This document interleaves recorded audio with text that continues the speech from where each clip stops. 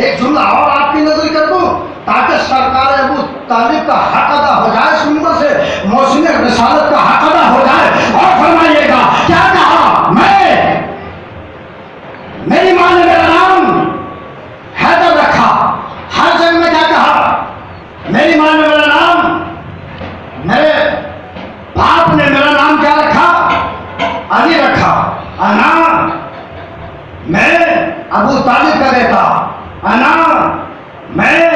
अबू तालिब का बेटा मैं अबू तालिब का लश्कर जिगर मैं अबू तालिब का नूर नज़र मैं अबू तालिब की आगोश में परवान चढ़ने वाला यानी हर जगह में खैबर के अलावा अली ने अपने बाप का तारुफ कराया मैं अबू तालिब का बेटा मैं अबू तालिब का बेटा मैं अबू तालिब का बेटा हर जंग में अली ने अपने बाप का तारुफ इसलिए कराया कि मैं अबू तालिब का बेटा जो मेरे मुकाबले पे आ रहा है वो बताए वो किसका बेटा एक सलामत पड़े मोहम्मद वाले मोहम्मद पर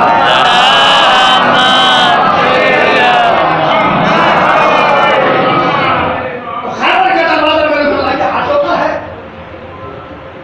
मेरे मौला खंदक में कूद गए नबी के पास जो लोग खड़े थे उन्होंने शोर मचाया या नबी अल्लाह अली के हाथों पर खैबर का दरवाज़ा है कमाल हो गया मेरे मौला ने फरमाया नबी ने फरमाया तुम नबी के हाथों को देख रहे हो जरा नबी के अली के हाथों को देख रहे हो। जरा अली के पाँव की तरफ़ देखो। अली के पाँव दोषे हवा पर है। और फरमाइएगा, अंदाज क्या है मेरे मौला का? दरवाज़ा हाथ पर है। लश्कर को ट्रांसफ़र करना है। इधर से उधर बीच में खाई है। खंडक हमें रखी खोदी हुई। तो क्या करते हैं मेरे मौला? खैबर के दरवाजे को धर करते हैं। लश्कर को इशारा करते हैं। और जब लश्कर खैबर के दरवाजे पर सवार हो जाता है तो मेरे मौला किले में मिला देते हैं, लश्कर इधर से उधर मुंतकिल हो जाता है। मगर गौर फरमाइए, अभी खान ईमान कैसे मिलाते हैं? इधर से लश्कर आया, घोड़ों समेत दरवाजे पर आ गया, मेरे मौला ने बीच में लिया और लेने के बाद मौला ने हिलाया। जैसे दरवाज़ा हिला खैबर का तो खैबर पर सवार लोग हिले। तो जैसे हिले तो क्या कहते हैं अपनी जबान से? यानी मदद यानी मदद यानी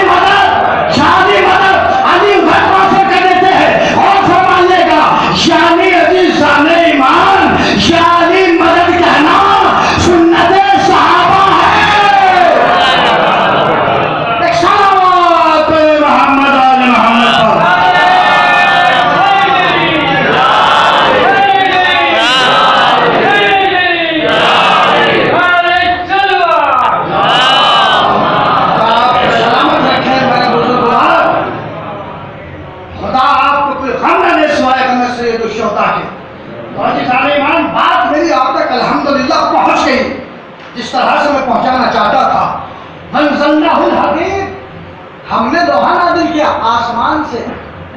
फ़ी है काफ़ी शदीद जो काफिरों के लिए बहुत सख्त है। और और लोगों के लिए फ़ायदे हैं।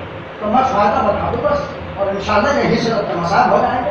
कि जुल्फकार का फ़ायदा कितना है? मेरा मौला ने फरमाया कि सखावत की चार किस्में हैं। एक सखी सखी किसे कहते हैं? हाथ के हाथ बताते चलूँ इसलिए कि वक्त में गुंजाइश नहीं है। मेरे मौला ने फरमाया सखावत की चार किस्में दाना सखी सखी किसे कहते हैं? मेरे मौला ने, फरमाया, हमारा चाहने वाला मोमिन सखी है। और फरमाइएगा, अकेले से गुफ्तु नहीं कर रहा हूँ मैं। मैं मौला के चाहने वालों से गुफ्तु कर रहा हूँ, और मौला के चाहने वाला सखी होता है। मेरे मौला ने फरमाया, सखी का मतलब क्या है? खुद भी खाता है, चाहने वालों को भी खिलाता है। सखी खुद भी खाता है, अपने चाहने वालों को भी खिलाता है। दूसरा दर्जा है करीम का।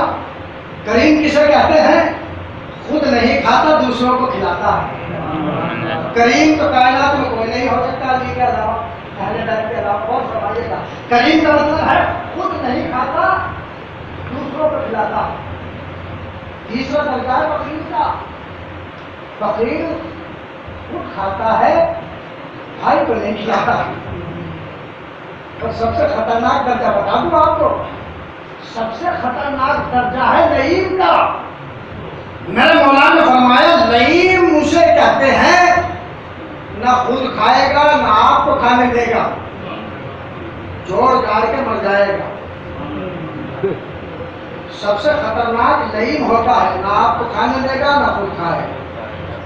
क्या करता रहेगा?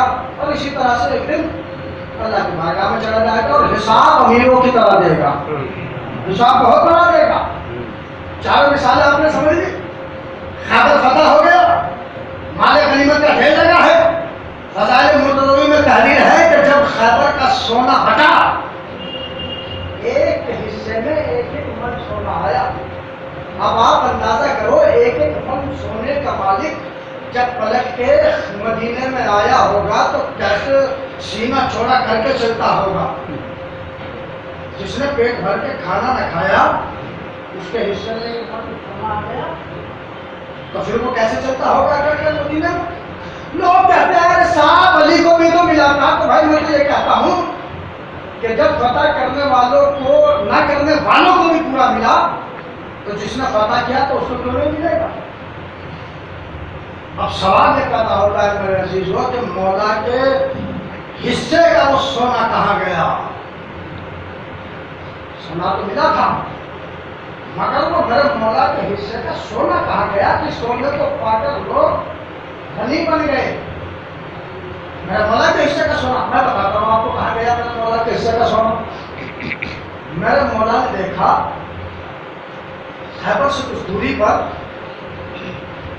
कुछ बच्चे, कुछ औरतें खड़ी हैं। कंबर को बुलाया कंबर जी आता ये और बच्चे क्यों खड़े हैं। बोला मालूम नहीं बुला कर बुलाओ अली उनसे बात करना चाहता तमाम बच्चे, औरतें, अली की खिदमत में आ गए। और आने के बाद अबू तालिब का बेटा कहता है, क्या हाजत है? क्यों खड़े हो? क्यों तुमने वफी लगा रखा है? आपसे बात नहीं करनी, हमें उस वसी रसूल अली मुर्तज़ा से मिलना है कि जिसने खैबर के दरवाजे को फतह किया है। क्या हाजत रखते हो? हम हाजत ये रखते हैं कि हम बेवा औरतें हैं, ये यतीम बच्चे हैं। तो हम ये चाहते हैं उस इंसान से, सुना है कि वो बहुत बड़ा सखी है तो वो थोड़ा सा हमें सोना दे दे ताकि हम अपने बच्चों का पेट भर सकें। मेरे मौला ने सुना और सुनने के बाद, एक मरतबा अपनी आँखों को नीचे झुकाए और झुकाने के बाद तभी आवाज़ में मेरे मौला ने कहा जिस वसी रसूल अली मुर्तज़ा के बारे में पूछ रहे हो वो अली मुर्तज़ा तुम्हारे सामने खड़ा है।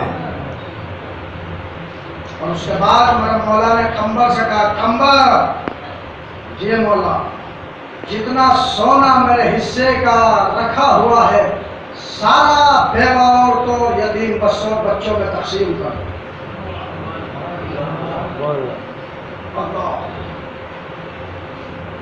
सारा सोना मेरा बोला देकर जब मदीना में आए हैं तो अब घर की हालत सुनना।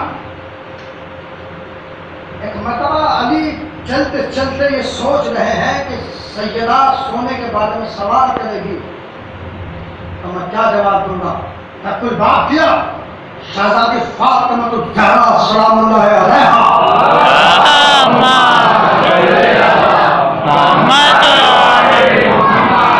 एक मरतबा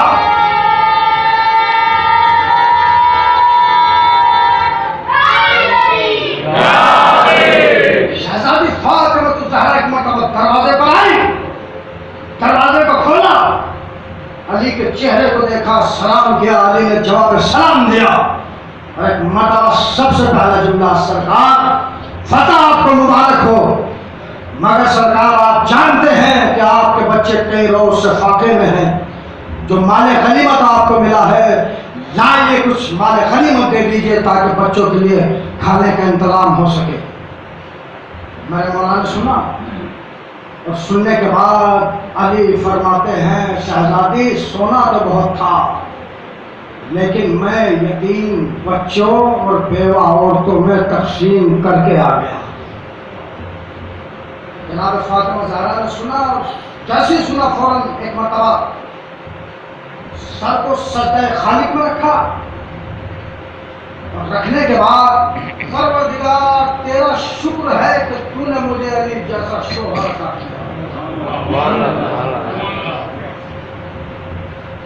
लेकिन मैं कहूँगा, मौला, आप यतीमों के लिए अपने दिल में कितना दर्द रखते हैं? आपको अपने बच्चों का भी ख्याल नहीं आया। सारा सोना दे दिया। कभी किसी को खाली नहीं लौटाया मौला, करबला के मैदान में आकर तो देखिए, आपके बच्चे पानी के कतरे के लिए तरस रहे आज थी तीसरे की गई। हुसैन चले हैं मदीने से, अट्ठाईस रजब को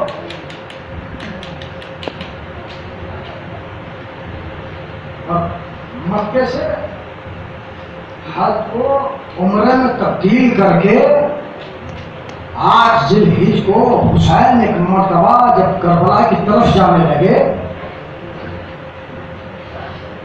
तो अब्दुल्ला इतने अब्बास आए और आने के बाद कहा फर्जंद रसूल, आप बेहतर जानते हैं, आप सफ़र पर हैं, लेकिन अगर हो सके तो बीवियों को अपने साथ न ले जाए।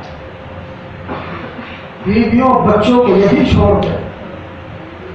सुनेंगे आप मेरा मौला का जवाब महमिल से शहजादी जैनब ने दिया।